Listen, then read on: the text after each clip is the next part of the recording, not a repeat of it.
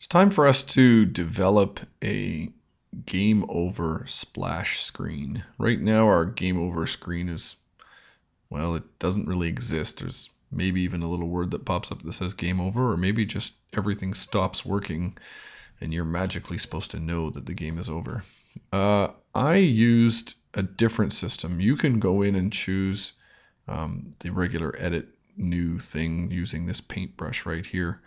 I chose rather instead that I was going to use, um, I'm familiar with the GIMP, uh, which is a free download. The link is on the web page there, or you can do a search go on Google for GIMP uh, and or GIMP.org and it'll come right up. This is my preferred choice. If you prefer to use Paint or Photoshop or something like that, feel free.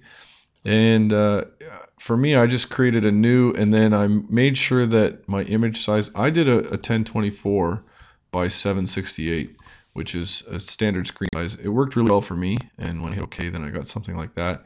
I went ahead and, and had a lot of fun with it, and um, I actually made something that looks sort of like this. Um, and uh, I was the checker marks or checkerboard background is is for transparency for those of you that know about or don't know about um, that I found Scratch actually didn't accept the transparency. I was kind of hoping to have a sort of a foggy overlay with the words game over, but um, you can certainly kind of get the idea of what you're trying to do. I'm I'm not a graphic designer by trade, so that's about as fancy as I get as for a game over screen.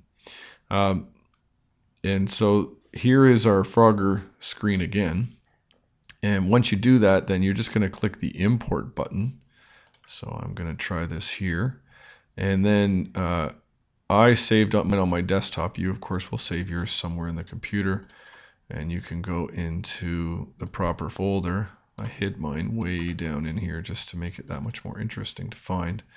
And here's my game over script. I actually saved it in a couple of different versions just to make sure. And when it comes in, uh, there's my game over script.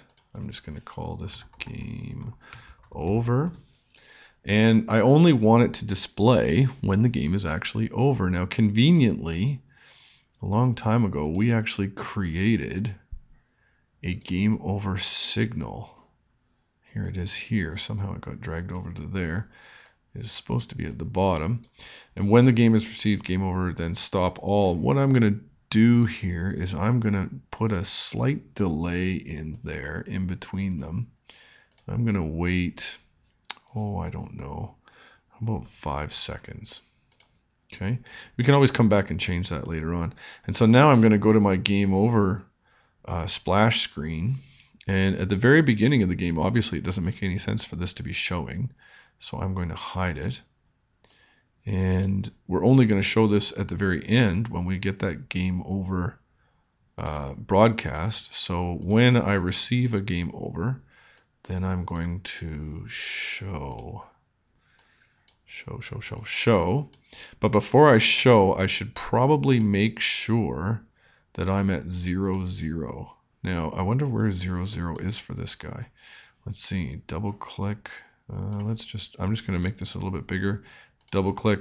Okay, so that is 0, 0, directly in the middle of the screen. You might want to test that on your system as well. Um, so I can throw you away now. So when I receive the game over, I'm going to go to 0, 0, and I'm going to show this screen. Now, I might want a slight delay on that. Every so often, people don't like it when the game over screen just pops right up right away. So I'm going to put a one second delay on that. Okay, so go here and test this out. Okay, you'll see it now, I I had game over at three lives, and the reason for that is just so that the, the game over happens really quickly. If you want to have game over at five lives or more, then that's fine.